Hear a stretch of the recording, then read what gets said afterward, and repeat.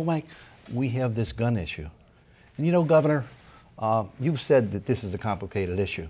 Respectfully, it's not. I urge you to run to uh, join uh, the president, Mayor Bloomberg, and Governor Cuomo, and get on board on this issue. You know, we've been a leader on gun control in the state for a very long time. Step up, do the right thing, join us. You don't think this governor? You don't think this governor is, is engaged So far now, he said the issue is too complicated.